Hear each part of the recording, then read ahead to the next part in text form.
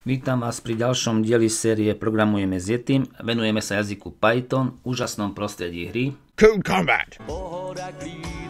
Čaká nás level klídek bez tabáčku. Pohybuj sa pomaly a divne, aby si sa vyhol ohnivej búrke. Ciele zober 8 diamantov.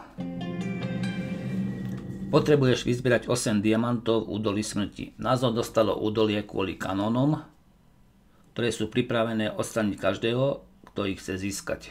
Kanóny však počítajú iba s rýchlymi zlodejmi, oklamať ich môžu pomaly. Prvá funkcia vracia hodnoty od 0 do 30, druhá funkcia by mala vracať hodnoty od 0 do 40. A práve tú druhú funkciu musíme dokončiť a diamanty sú naše. V redku 6 sa začína definícia funkcie mod 30 s parametrom n, ktorá vracia tie čísla od 0 po 30.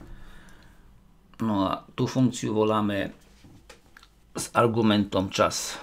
No a ten čas sa meria v sekundách, je to presné celé číslo, desatinné číslo, ale celý level stihneme do jednej minúty, takže aj to číslo bude maximálne 59 sekúnd.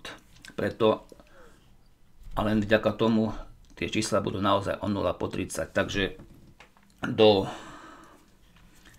30 sekúnd, v podstate do 20,9 nám bude vracať presne to isté číslo. V čase 0 nám tá funkcia vráti 0, v čase 1,1, v čase 2,2 až tak ďalej, až po 20,99. No a potom, ako nále to číslo dosiahne 30, tak nám už vráti 0 lebo 30 minus 30 je 0. V čase 31 nám vráti jednotku, lebo 31 minus 31. V čase 50 nám vráti 50 minus 30 20. Na zisťovanie slanice x používame funkciu mod 30 plus číslo a na zisťovanie súradnice y používame funkciu mod 40 argumentom time plus číslo 10. Tie čísla 25 10 nám určujú pozíciu, kde hodina je teraz, kde začína.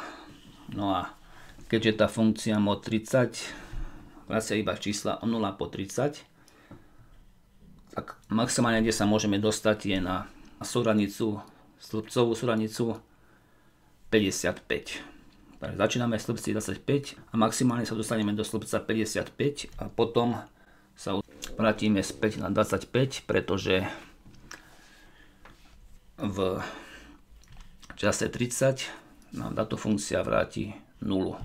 0 plus 25 je 25. Takže sa dostaneme späť do toho istého slepca, kde sme začínali.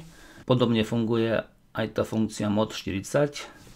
Tá sa však mení od 0 po 40. Lenže tú funkciu mod 40 musíme ešte dokončiť. Takže ak to číslo, ktoré nám do funkcie príde, je väčšie alebo rovné ako 40, tak od toho čísla, čo nám príde, odčítame 40. Inak vrátime pôvodné číslo. No a tie čísla budeme najskôr sledovať tu, aby sme si vysvetlili, ako to funguje. Pustiť. Ideme sledovať tie čísla.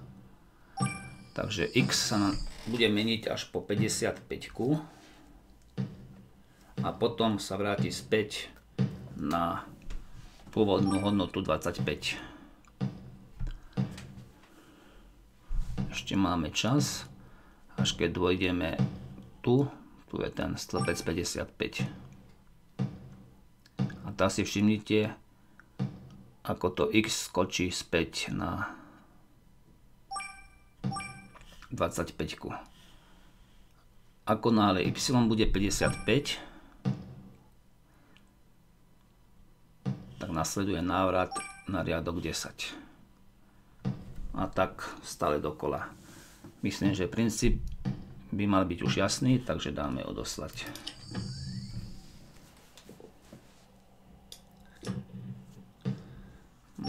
V tomto leveli vidíme zaujímavé využitie funkcií, ktoré vracajú požadované hodnoty v danom rozsahu.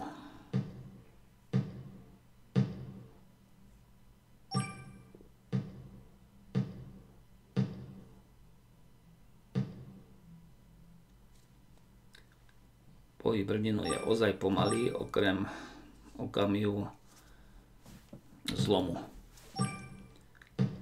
Pre stĺpec je okamih toho zlomu 30 a pre riadok 40.